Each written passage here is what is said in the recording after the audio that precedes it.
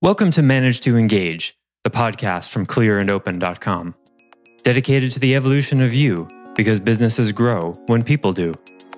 Serving leaders, managers, and people who will be, helping you reach excellence in your work and achieve your personal goals at the same time.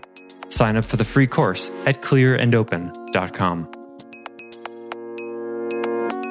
I mean, planning is an act of faith, and you could say in one way. It, it just is. Like you just, you don't know. The thing you want to always rest in is that having an intention, even if it's the wrong intention, is better than no intention at all. Hi, it's Josef, and thanks for tuning in to Manage to Engage, the podcast from clearandopen.com. For part three of this four part series on why annual plans don't work, we look at the difference between a goal and a plan, and really why successfully executing a plan as it was planned isn't the most important thing. This may surprise you, but it's also been your experience, right? Plans rarely go as planned. So, given that, how do you use planning effectively? I offer weekly member webcasts, online courses, and mentorship at clearandopen.com because it's my truth that with the right tools, anyone can eliminate the people, money, and time problems holding them back in business. And I share parts of these webcasts and courses on this show because I want to help you too. If you're enjoying the show and learning from it, I'd love your feedback. If you're listening to the show on an Apple device, all you have to do is open the podcast app, view the full description of the episode, and click the link to leave a rating and review for the show.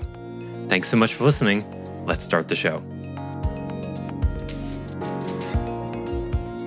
This might be a silly question, but is there a difference between goal setting and planning?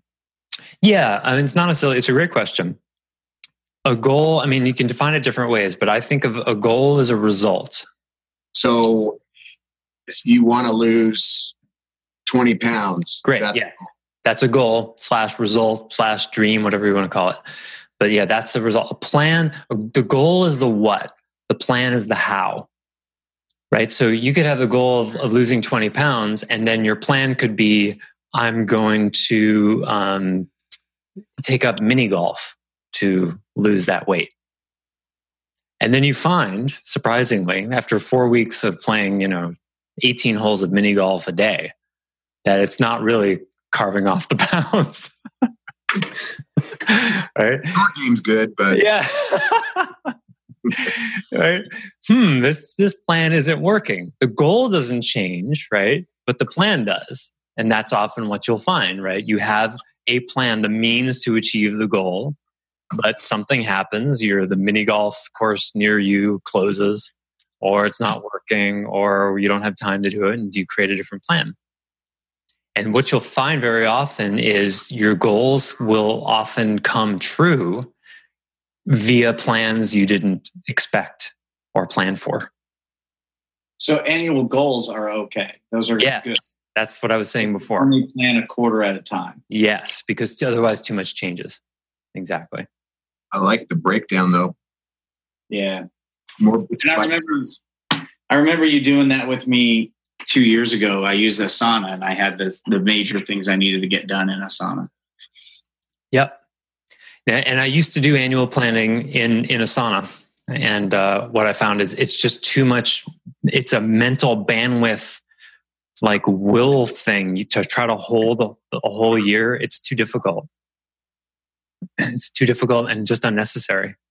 When it seemed like every quarter you'd have to redo the whole thing. Exactly.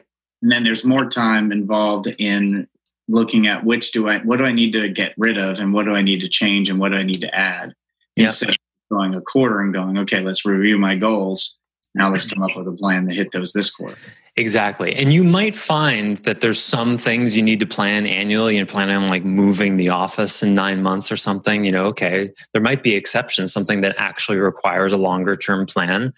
But then, okay, then you'll do that. But you, you, what you'll likely find is most of the stuff doesn't need to be planned until later on. It's quite liberating just 12 weeks at a time. And then you can really focus on, you know, one week at a time because each week ends up being about 10% of what you had to work with. So fun.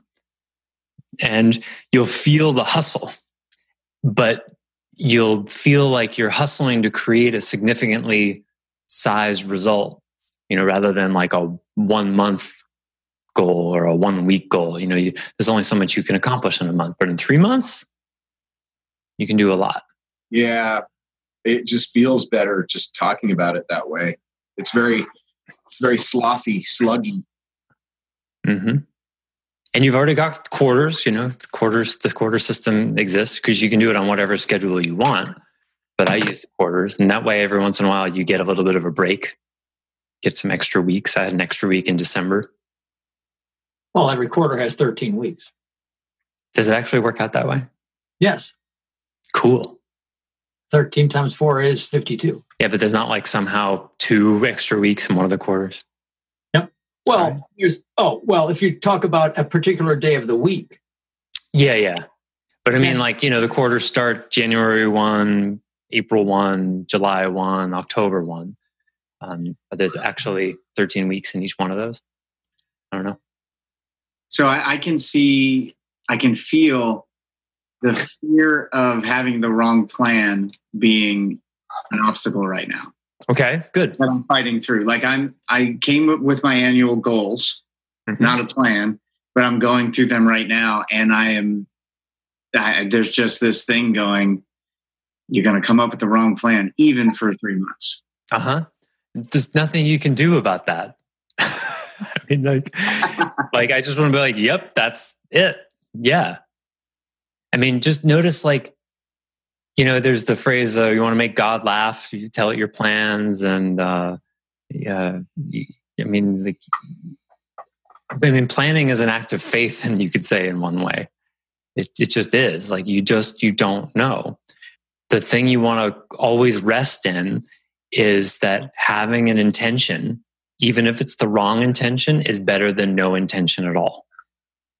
You know it's like in in med- in the buddhist path and in the enlightenment path the teachers will talk about like well you can meditate too willfully trying to control your experience. And that that's not that's not productive meditation if you're trying to control your experience and then you can also be like okay well i'm not going to try to control my experience at all i'm just not going to meditate at all i'm just going to if if i can't make enlightenment happen then uh, what's the point of meditating? Well, that doesn't work either. It's a similar thing here. So you can't control reality so that you can make your plans come true. I mean, can you can you even make your day go the way you want it to? right? Half of the days, maybe, right? Not so, if you have kids. Yeah, if you have kids, right. It's, look how hard it is just to get your day. Now, the goals you have for the day, you can get them done, right? But you say, all right, I'm going to do laundry at 11. I'm going to get the kids at three. We're going to eat at six and I'm going to get these three, these three things done in the morning, right? Then what happens, right? So one of the kids ends up being sick. The laundry machine broke. You do the things over dinner at, at 730, right? It all happens, but not the way you thought at all. Yeah. So you, you have to have a plan, just like you have to have a budget so that you have something to manage to, so that you know just how off the plan it's getting. Right. This is the argument I always get in with people with budgeting because one of the reasons people resist budgeting, budgeting is a killer, right? It's part planning and part money. it's very avoidable, right? So if the money part is is uh, doesn't get people, the planning does. I remember talking to someone. They were like, "Well, I just spend whatever I do, and it all just sort of works out." I said, "Well, what if you just decided how much you were going to spend? Well, then I'd have to be looking at that all the time." My wife said how much she loved having the budget to look at before she went shopping. And if you go over, at least you know how exactly you've deviated from the plan, you see? That's it. That, that's see the content context thing there. It's not about holding rigid to the plan or you failed the plan. It's drawing the line and being able to see how far you've deviated from that plan, right? You know, like the whole the, the airplane cliche about how the airplane is off course 95% of the time, but they know how far off course they are, right? If air traffic control says, hey, there's a storm, you got to go around it, they know how far off course they are, right? And then they can tell all the passengers, we're going to be seven and a half minutes late because there was a plan. They don't go, oh man, the plan, it was a complete waste of time. Let's just never plan a trip again. Let's, we just fly and we'll get there eventually. That way nobody's disappointed. right? right? There's a plan. And it doesn't go as planned. But it's so hard for our minds to get that. Yep. And I that's mean, I've, I've done a personal I've done a personal budget and the great thing about that was I found money that I didn't even know Mm-hmm. I had. But trying to put it into my business, it's because there's always something. Mhm. There's big ticket, big big things going out, and I have a lot of equipment, and so it's really tough. Yeah. If instead relate to plans as if it comes, if it happens the way it, it's you planned it, it's a miracle. That's how to. Now, um, Peter will laugh at me being the, the handy guy that he is. I, I am not a mechanical person. I've I've owned three different houses and I've worked very hard to become even a little bit handy. So when I go to like fix something or fiddle with something, if it goes as planned, it's a miracle, right? And every time I imagine, I was the fantasy in my head is like, okay, I'm going to get my drill and I'm going to get this tool and that tool. And in 20 minutes, I'm going to have the thing fixed, right? And what happens is I end up spending 20 minutes just trying to find the screw I dropped in the grass, you know, like, or like, you know, wrestling with an extension ladder that's not behaving, or like it just, it's always takes five times longer than I thought, right? But every once in a while, it goes exactly like I imagined. And I'm like, oh my God, it actually happened the way I imagined. Amazing. There was no, you know, rusty screw I had to drill out. There was no, you know, thing I couldn't get apart. There were no extra parts at the end that I had to figure out what to do with. You know, anything with cars is always like that, right? Oh, we'll change my oil. That just only takes 20 minutes. No problem. Oh, I can't reach the oil filter without bending my elbow the wrong way, you know? I swore off cars 25 years ago. for exactly that reason, right? And, and then when you see a mechanic, right, dealing with a car, like in, in I, I, you see they have this different attitude. I, I, I used to have this this kind of kid work on my old Honda Civic and, and Kia, and I would hang around and watch him, and I could see like the points where I would get all frustrated that it didn't go at, as planned. He's just like, I guess we'll have to find another way. Oh, I can't get your, uh, I can't get the ball joint apart. Here, let me get this piece of uh, pipe, you know, to extend the wrench. And here, you stand on it. I actually did that. I stood on the end of this wrench and put like 200 pounds of torque on this thing to find it.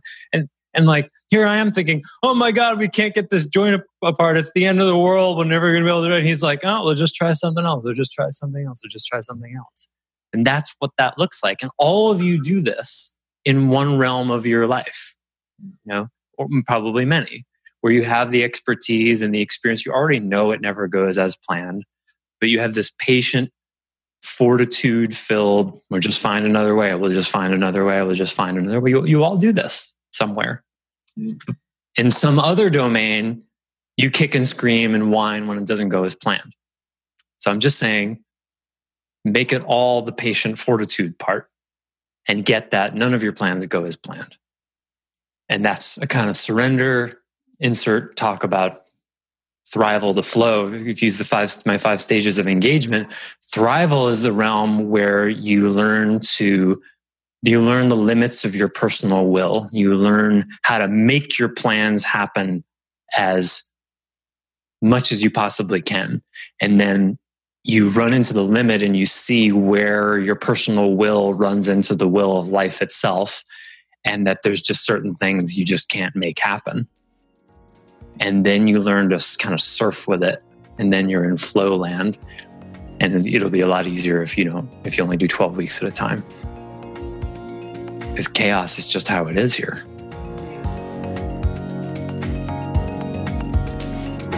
Thanks for listening to Manage to Engage, the Clear and Open podcast. Join us next week when you'll be a little bit closer to who you're destined to be. Until then, know that Clear and Open is dedicated to the evolution of you because businesses grow when people do. If you want to help the show grow, I'd appreciate you leaving a rating and review on iTunes. All you have to do is open the Apple Podcasts app, view the full description of the episode, and click the link to leave a rating and review. Or you can go to clearandopen.com slash review and it will bring you to the right place. If you're looking for more support on your journey, head over to clearandopen.com for even more tools, articles, and free resources. Thanks so much for listening. Bye for now.